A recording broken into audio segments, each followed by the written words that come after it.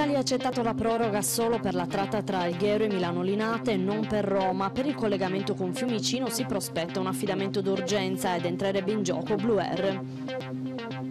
È in programma questo pomeriggio la conferenza stampa dei vertici regionali e locali del PD per sancire la tregua con Mario Bruno che quest'oggi al rientro da Parigi dovrebbe ritirare le dimissioni. Si profila un appoggio esterno dei Dem.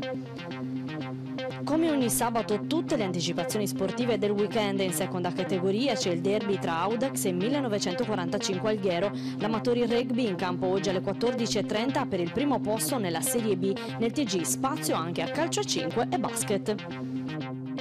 Bentrovati con l'informazione quotidiana di Catalan TV. Apriamo questa edizione del nostro TG parlando di continuità territoriale perché secondo quanto riportato dall'ANSA i collegamenti aerei su Alghero saranno divisi in due. All'Italia volerà solo su Milano preso l'ex compagnia di bandiera ha accettato la proroga solo per la tratta tra lo scalo Riviera del Corallo e Milano Linate e non quello da per Roma, una situazione che potrebbe aprire la strada Blue Air per operare sui voli tra Alghero e Fiumicino, non attraverso accordi commerciali come inizialmente ipotizzato, ma con un affidamento d'urgenza per massimo sette mesi, quindi sino a giugno quando scadrà la proroga. La risposta di Alitalia è arrivata proprio in queste ore, considerando che invece la situazione legata a Cagliari e Olbia era stata già risolta. Se dunque i voli per Milano sono in salvo, per Roma Fiumicino bisogna trovare una soluzione, la più percorribile, sembra proprio l'affidamento d'urgenza, da definire con il Ministero dei Trasporti e che deve ottenere il via libera europeo. Qui potrebbe entrare in gioco Blue Air, la compagnia che si era aggiudicata il bando della nuova continuità su Alghero, poi stoppato dalla Commissione europea. La compagnia italo-romena infatti opera già su Roma, con voli che collegano la capitale con Torino, scalo di riferimento per le attuali tratte di Alghero. Bisogna però fare in fretta perché il 9 novembre è vicinissimo e nonostante l'Italia vende biglietti per Roma, quest'ultima tratta rischia di rimanere scoperta. Per la politica, questo pomeriggio nella sede di Via Mazzini è in programma la conferenza stampa del Partito Democratico che vedrà la partecipazione dei segretari regionale, provinciale e cittadino oltre ai consiglieri comunali e al sindaco Mario Bruno. È atteso per quest'oggi infatti il ritiro delle dimissioni da parte di quest'ultimo dopo il documento unitario firmato dallo stesso PD con i partiti di maggioranza. Guardare oltre la rottura del 2014 e rilanciare l'azione politica e programmatica del centro-sinistra sinistra algherese e dell'amministrazione comunale. Sulla base di questo è stato sancito il patto che non dovrebbe comunque prevedere l'ingresso in maggioranza dei DEM, piuttosto un appoggio esterno programmatico per gli ultimi 20 mesi di consigliatura, dubbi che comunque verranno sciolti questo pomeriggio nel corso della conferenza stampa. E domani mattina dalle 10.30 alle 13 in via Tarragona numero 2 fronte Piazza della Mercede è programmata la raccolta firme per l'iniziativa denominata insularità in Costituzione. L'obiettivo della proposta avanzata dai riformatori sardi è quello di ottenere la condizione ineludibile di isola, eh, che la isola venga riconosciuta eh, e inserita nella nostra Costituzione, così da assicurare azioni specifiche a favore della Sardegna, il cui sviluppo economico e sociale è evidentemente ostacolato da problemi geografici di natura oggettiva. Si punta a un referendum che abbia come obiettivo il riconoscimento dell'insularità, spiega Nicola Salvio, coordinatore dei riformatori di Alghero e per farlo è necessario il sostegno di tutti. Pigliaru si ostina a non rispondere alle interrogazioni di Forza Italia su Abbanoa che è allo sbando mentre il management parla di un ente in salute. Il consigliere regionale di Forza Italia Marco Tedde così commenta le mancate risposte del presidente della regione agli atti di sindacato ispettivo di Forza Italia e le dichiarazioni dell'amministratore unico del gestore unico del servizio idrico integrato secondo il quale l'azienda va bene, i conti sono in ordine, abbiamo attivato il percorso per attivare il rating. Secondo l'ex sindaco di Alghero si tratta di ottimismo di facciata ostentato che cerca di nascondere una situazione finanziaria e gestionale complessivamente disastrosa. A giugno, ricorda Tedde, il Consiglio di Stato ha condannato a Banoa a versare all'antitrust una sanzione di 680 mila euro per pratiche commerciali scorrette. Cioè minacce, slacci e pratiche vessatorie che in tutti questi anni Abano ha messo in atto nei confronti degli utenti sardi, che pur di non perdere la fornitura d'acqua spesso pagavano e si piegavano ai soprusi del gestore unico. Azioni a cavallo del codice penale per le quali Abano è stata condannata dal Consiglio di Stato a pagare 680.000 euro all'antitrust per pratiche commerciali pesantemente aggressive nei confronti dei cittadini sardi. Chi pagherà questa somma? si chiede Tedde. Ovviamente i sardi. Il consigliere regionale di Forza Italia ritiene che Abano viva una situazione finanziaria e gestionale gestionale equivoca. Prima ottiene una iniezione di capitale per 190 milioni da parte dei soci di Abanoa e quindi dei Sardi. Successivamente decide di emettere un prestito obbligazionario di 180 milioni per la cui collocazione spenderà per compensi fino a 1 milione e 170 mila euro. Ma non si comprende come una società che nell'ultimo bilancio approvato vanta crediti verso clienti per oltre 700 milioni di euro abbia necessità di chiedere un prestito in denaro i cui interessi saranno pagati dai cittadini sardi delle due l'una, o i 700 milioni di crediti non sono esigibili e quindi il bilancio è falso, o il management di Abanoa sta prendendo una cantonata, attacca Tedde. E poi, dulcis in fundo, all'anticorruzione a metà ottobre ha dichiarato che Abanoa è fuori legge. Il consigliere regionale di Forza Italia ricorda poi il contenuto della delibera, con la quale recentemente il presidente dell'ANAC, Cantone, ha censurato la gestione del servizio idrico integrato, ritenendolo non in linea con il quadro normativo in materia di in-house providing. E sullo sfondo il presidente Pigliero e la sua giunta tacciono, non rispondono alle interrogazioni che abbiamo proposto per fare luce sui responsabili delle azioni vessatorie sanzionate dal Consiglio di Stato e sull'equivoca situazione finanziaria e giuridica, denuncia Tedde, oltre che per chiedere alla Giunta di intraprendere iniziative che impediscano per il futuro l'attuazione di simili odiose pratiche che violano i diritti più elementari dei sardi e per mettere ordine nei conti nella struttura del gestore monopolista. Crediamo che i sardi abbiano la memoria lunga, chiude Tedde, e siamo convinti che la Corte dei Conti abbia antenne sufficientemente sensibili per intervenire su questo quadro equivoco. Oggi, 4 novembre, l'Italia celebra la giornata dell'unità nazionale delle forze armate. La giornata è stata istituita nel 1918 per commemorare la fine della prima guerra mondiale per l'Italia. Il 4 novembre è la data dell'entrata in vigore dell'armistizio di Villa Giusti. Ad Alghero questa mattina alle 10 dal Palazzo Civico di Via Columbano è partito il corteo che ha reso omaggio con la deposizione delle corone d'alloro ai monumenti dedicati ai caduti civili e ai militari algheresi nel corso di conflitti mondiali come Piazza Portaterra, Scalo Tarantiello e Piazza Sventramento. Il corteo istituzionale è stato accompagnato dalla banda da Lerci e poi ha fatto rientro al Palazzo Civico dove è terminata la cerimonia. A rappresentare il comune c'era l'assessore Raimondo Cacciotto. E adesso ci fermiamo per la pubblicità, a tra poco.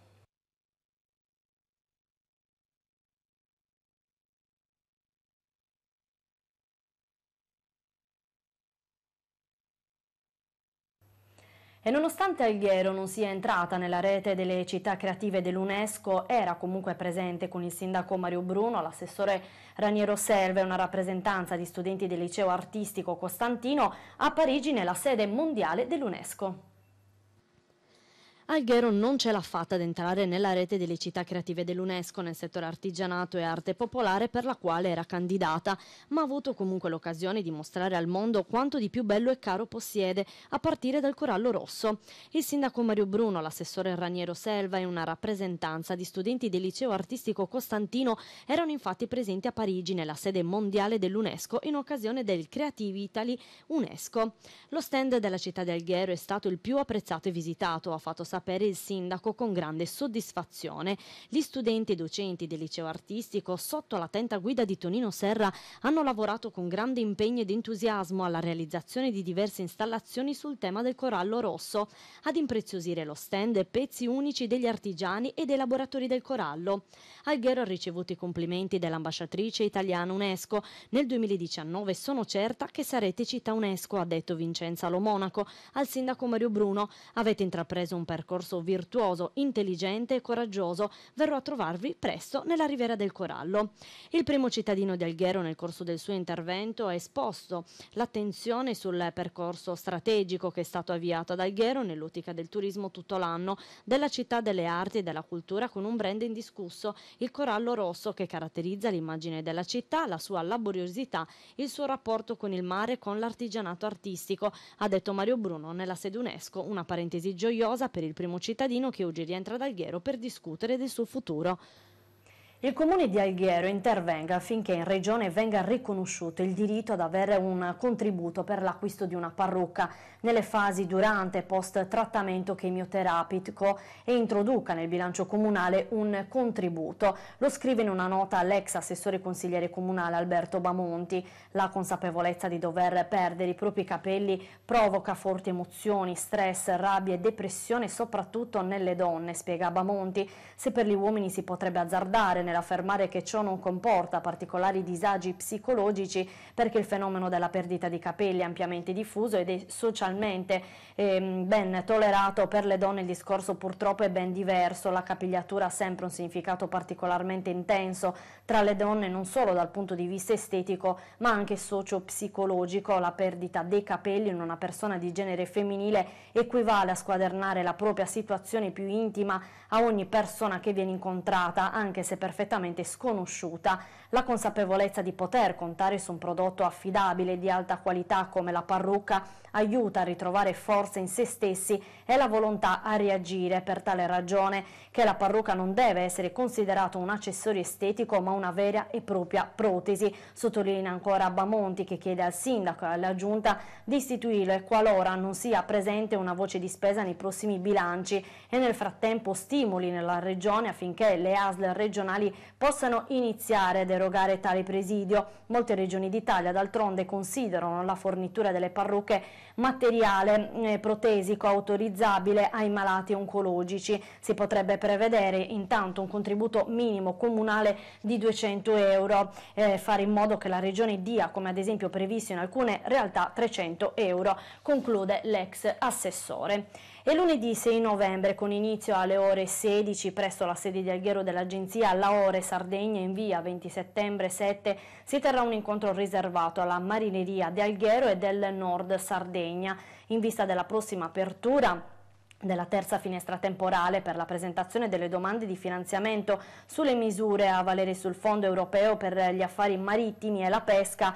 l'Agenzia regionale Laore Sardegna in collaborazione con i Flag Sardegna e il Servizio Pesca e Acquacultura dell'assessorato dell'agricoltura e riforma agropastorale fornirà informazioni relative ai bandi di attuazione delle misure. Per quanto riguarda il programma formativo Green e Blue Economy finanziato dal Fondo Sociale Europeo il raggruppamento composto da Isfora, Pink Capofila, Flag Nord Sardegna, Smeralda Consulting e Isogea ha programmato attività di animazione e rilevazione del fabbisogno formativo per dotare il territorio di nuove professionalità destinate a creare opportunità nella filiera della pesca e dell'economia del mare attraverso la somministrazione di questionari così da poter realizzare interventi formativi utili. La filiera della pesca e dell'acquacoltura costituisce un sistema complesso e articolato di operatori che sempre più in futuro nello scenario europeo dovrà fare i conti con cambiamenti e innovazione. Diventa peraltro indispensabile cogliere sia le opportunità finanziarie disponibili che le occasioni di miglioramento professionale. L'incontro è stato programmato grazie alla collaborazione dell'assessorato e le attività produttive del Comune di Alghero, partner del Flag Nord Sardegna. Sono invitati dunque a partecipare i pescatori, gli acquacoltori, gli operatori della trasformazione del prodotto ittico e del commercio e tutti i potenziali beneficiari delle misure FEAMP. Cambiamo argomento ora perché è grande soddisfazione per due algheresi, Guido Beltrami e Daniela Canu, che partecipano alla Fiera Internazionale di Floricultura che si terrà in Olanda dall'8 al 10 novembre. Anche la Sardegna sarà presente all'importante fiera internazionale di floricoltura in programma dall'8 al 10 novembre in Olanda, precisamente nella città di Weifasen. All'annuale appuntamento esporranno le proprie creazioni anche Daniela Canu, da 25 anni flower designer, molto apprezzata e richiesta in Italia e all'estero, e Guido Beltrami, 35 anni, con alle spalle numerose importanti esperienze a livello internazionale. Tra i vari stand presenti anche quello Italia, che ospiterà gli esportatori di fiori della Riviera Ligure ed è proprio qui che sono stati chiamati degli stiri due algheresi che hanno già lavorato insieme per la realizzazione degli addobbi floreali nella Basilica di San Pietro. Non serve avere solo buon gusto, ma occorre essere dei professionisti seri e preparati per essere scelti per questo appuntamento in Olanda, nel quale gli esportatori di tutto il mondo fanno conoscere i propri prodotti, ha spiegato Daniela Canu che ha già partecipato a questo questa fiera. Nello specifico i due algheresi dovranno allestire insieme ad altri due colleghi lo spazio che in questa fiera olandese vedrà il fiore italiano. Un'esperienza sicuramente importante per la mia attività, ha commentato Guido Beltrami, che mi permetterà di stare a contatto con esperti del settore e poter così ampliare il mio bagaglio lavorativo e artistico. L'associazione culturale Tolos, nata oltre vent'anni fa per promuovere la nascita del Museo Archeologico Cittadino, si occupa di approfondire e diffondere la storia e l'archeologia attraverso conferenze, pubblicazioni visite guidate nei siti di maggior interesse. In questo contesto organizza una serie di conferenze sui siti archeologici del territorio d'Alghero e sulla Sardegna romana tenute dall'archeologo Alberto Gavini, dottore di ricerca in storia antica e archeologia. Si svolgeranno quattro incontri aperti al pubblico pubblico. Il primo quest'oggi alle ore 17.30 nella sala mosaico del museo riguardante Turris e Libisonis e i culti isiaci. Sabato 11 invece convegno dall'edilizia pubblica a quella funeraria. Il 25 dello stesso mese si parlerà del culto di Mitra tra eh, Roma, Ostia e la Sardegna e infine sabato 2 dicembre la romanizzazione delle aree interne ai centri di Carales e Nora. Ci fermiamo ancora per la pubblicità, tra poco.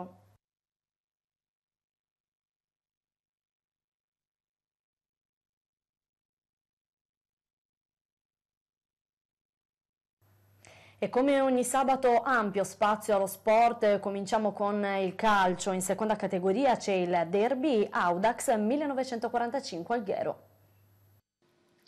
I fasti di un tempo sono lontani, così come i derby tra Alghero e Fertilia. In seconda categoria c'è comunque una stracittadina interessante in questa quinta giornata del girone L.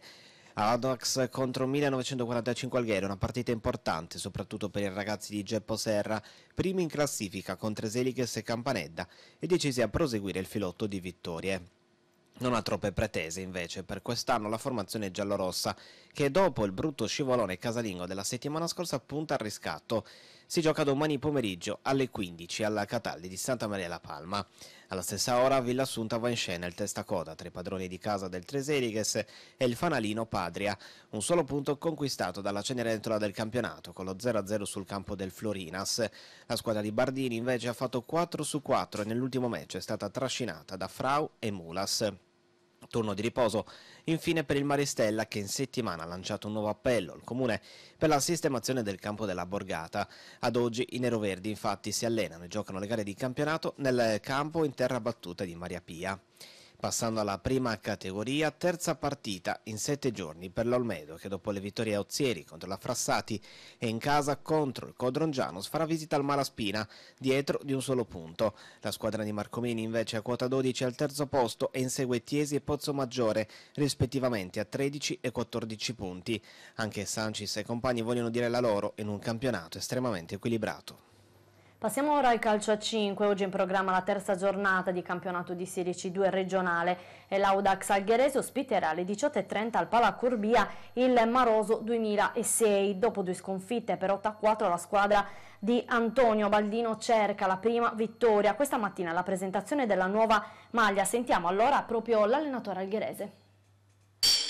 Ampio spazio al calcio a 5, alla Serie C2, quindi all'Audax Algherese. Come sta andando questo inizio di campionato? Questo inizio campionato abbiamo iniziato in trasferta, ahimè, con due sconfitte eh, con lo stesso punteggio di 8 a 4. Eh, oggi, stasera avremo l'esordio in campionato in casa.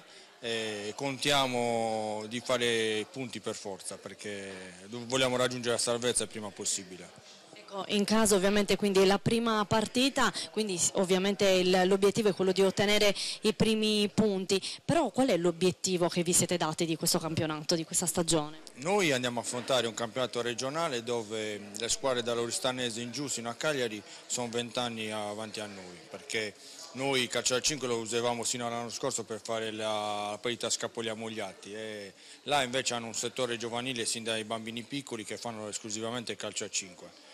Sappiamo che come tutti i progetti ci vuole tempo, ci siamo dati tre anni di tempo e comunque vada, quest'anno vogliamo migliorare in confronto all'anno scorso e lo faremo già con la nuova divisa che, a cui teniamo tanto quest'anno. Esatto, un progetto nuovo che inizia proprio con questa nuova maglia, ce la racconti?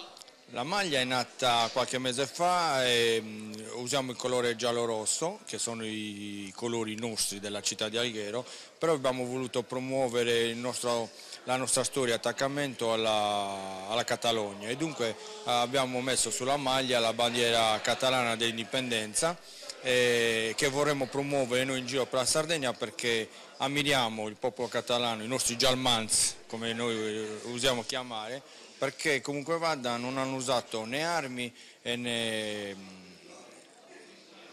cioè, eh, hanno deciso di, di, intraprendere questa strada, questa idea di indipendenza con un referendum, dunque in modo pacifico. La stessa cosa faremo noi andando in campo giustamente e usando poi il terzo tempo che, che forse è il terzo tempo che piace più a tutte e due le squadre. Capito? Grande gesto di solidarietà anche questo. Dunque l'appuntamento per questa sera a che ora? Stasera giocheremo al Palacorbia alle 18.30 in via Pacinotti contro la Maroso Gonosno che è una squadra di, in provincia di Oristano.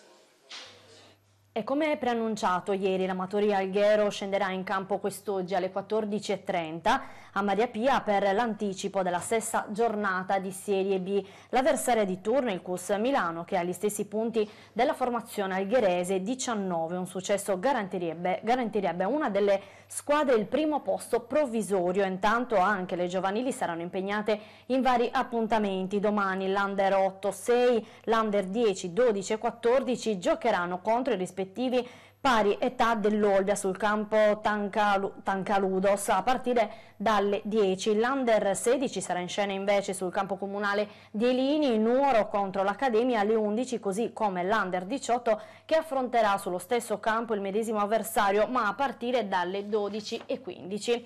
Ora vediamo anche tutti gli appuntamenti del fine settimana per quanto riguarda il basket, a iniziare dalla Serie A2 femminile dove in programma la sesta giornata. La Mercede di scena a Roma sul parquet della San Raffaele, due le lunghezze di differenza, quattro punti conquistati dalle laziali grazie alla vittoria casalinga su Umbertide, quella esterna della settimana scorsa contro Forlì, due invece i punti della Mercede, frutto del successo della, alla quarta giornata contro Orvieto. Le ragazze di coach Cau vogliono ripartire dalle note positive del match contro le Umbre, ma anche di quello successivo contro Palermo, purtroppo concluso con un KO ma con una buona prestazione in alcuni tratti, così come è stata buona la prestazione la settimana scorsa della Coral, che ha però ceduto ai supplementari contro il CUS Sassari, capolista del girone B della Serie D maschile, domani alle 19 al Palacorbia la squadra di coach Granchi pro, pro, proverà eh, a riscattarsi contro il CMB Porto Torres che guida la classifica proprio con il CUS e la Santa Croce Olbia e giocherà questa sera in trasferta Uzzieri, Lagabetti, Pallacanestro Alghero nell'anticipo della quarta giornata del campionato di promozione. L'avversaria l'80 Basket Uzzieri che l'anno scorso ha partecipato alle Final Four eh, mancando per un soffio la Serie D. Per il coach algherese Cardone, unico indisponibile il pivot maliano Sissoko, la cui situazione di tesseramento è ancora in stand-by. E con questa notizia si chiude questa edizione del nostro TG. Grazie a tutti come sempre per l'ascolto, arrivederci.